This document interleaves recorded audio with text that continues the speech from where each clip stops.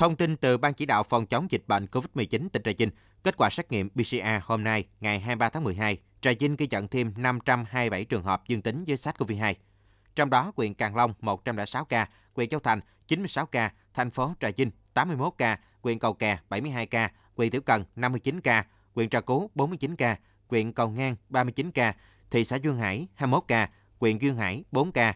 Trong số này có 496 ca được phát hiện trong cộng đồng, 21 ca phát hiện trong khu cách ly tập trung, 5 ca phát hiện tại cơ sở y tế, 3 ca phát hiện trong khu phong tỏa.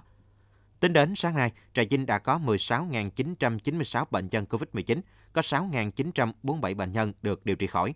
Trong ngày, ghi nhận thêm 5 ca tử vong do COVID-19, nâng tổng số có 105 trường hợp tử vong.